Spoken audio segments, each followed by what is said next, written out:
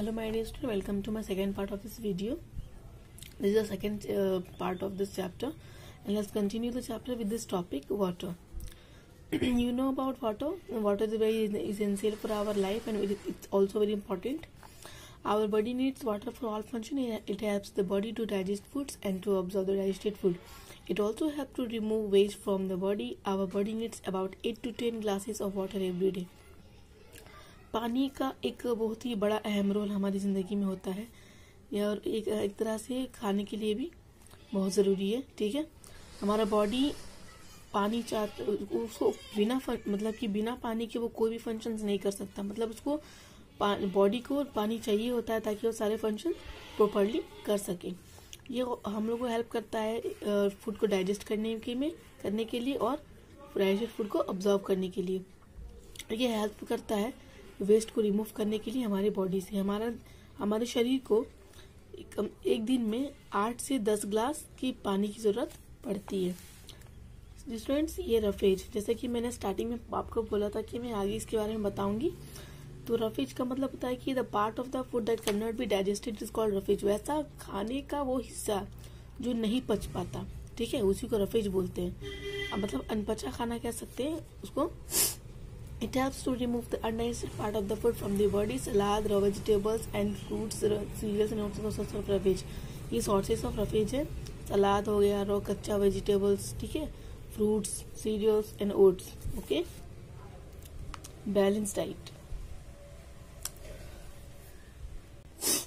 the food that we eat makes up our diet we should get the necessary amount of nutrients from our diet diet can you stay healthy if you eat only one type of food day after day No, you won't stay healthy for longer. A diet that has the right amount of all the nutrients which we need is a balanced diet. A balanced diet should also have water and roughage.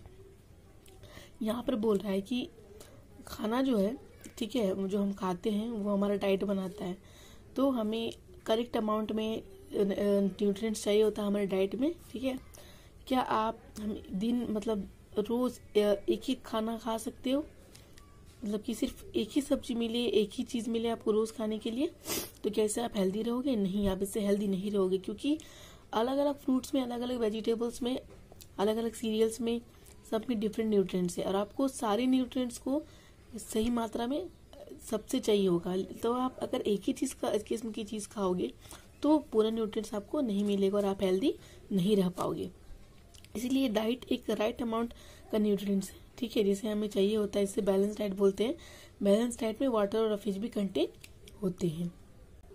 Food like readymade burger pizza and fizzy drink are called junk food these foods do not have the right amounts of all the nutrients. If you eat them regularly, these foods can harm or our health or make us जैसे कि मतलब जो street foods होते हैं जैसे कि burger हो गए, पिज़्ज़ा फिजी ड्रिंक ये सब जंक फ़ूड कहलाते हैं। मतलब कि इनमें सही मात्रा में न्यूट्रिएंट्स नहीं होता है। ये हमारे लिए नुकसानदेह भी है। अगर इसे हम हमेशा रेगुलर खाएँगे तो ये इस इस खाने से हमें नुकसान भी है और हमारे हेल्थ को और हम बीमार भी पड़ सकते हैं। अभी exercise Exercise helps us to have a healthy body. It keeps the body fit, alert and active. It makes the muscles strong.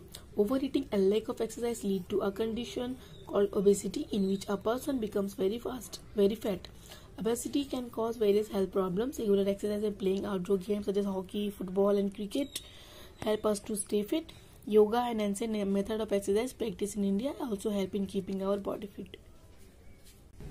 Exercise हमारे बॉडी को हेल्दी रखता है, ठीक है? ये हमारे बॉडी को फिट अलर्ट और एक्टिव रखता है, ये हमारे मसल्स को भी स्ट्रांग बनाता है।